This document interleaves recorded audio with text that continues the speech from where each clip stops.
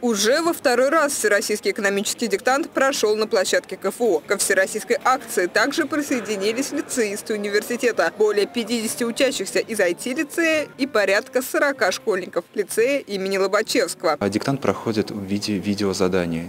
Участникам под диктовку диктор э, через видео диктует вопросы, и у участников есть около трех минут, чтобы правильно ответить на э, вопрос. Участники мероприятия из числа школьников и студентов, набравшие более 80 баллов, будут приглашены в финал всероссийского проекта «Фестиваль экономической науки».